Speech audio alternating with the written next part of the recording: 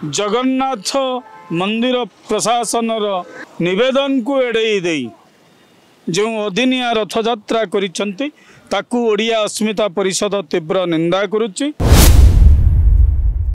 ଗଲା ଶନିବାର ଦିନ ଆମେରିକାର ହ୍ୟୁଷ୍ଟନ୍ ସହରରେ ଇସ୍କନ କର୍ତ୍ତୃପକ୍ଷ ପୁରୀ ଶଙ୍କରାଚାର୍ଯ୍ୟଙ୍କ ଅନୁରୋଧ ଗଜପତି ମହାରାଜାଙ୍କର ଚିଠି ଜଗନ୍ନାଥ ମନ୍ଦିର ପ୍ରଶାସନର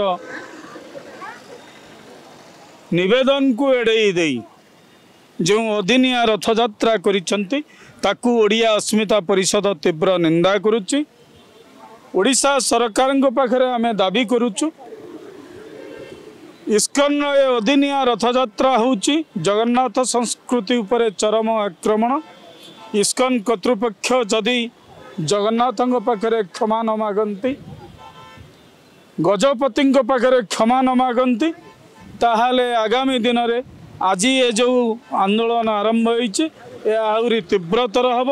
ଓଡ଼ିଶାର ପୁରପଲ୍ଲୀକୁ ଓଡ଼ିଆ ଅସ୍ମିତା ପରିଷଦ ଜଗନ୍ନାଥଙ୍କର ସୁରକ୍ଷା ପାଇଁ ଏ ଆନ୍ଦୋଳନକୁ ଆହୁରି ତୀବ୍ରତର କରିବ ବୋଲି ପ୍ରତିଶ୍ରୁତି ଦେଉଛି।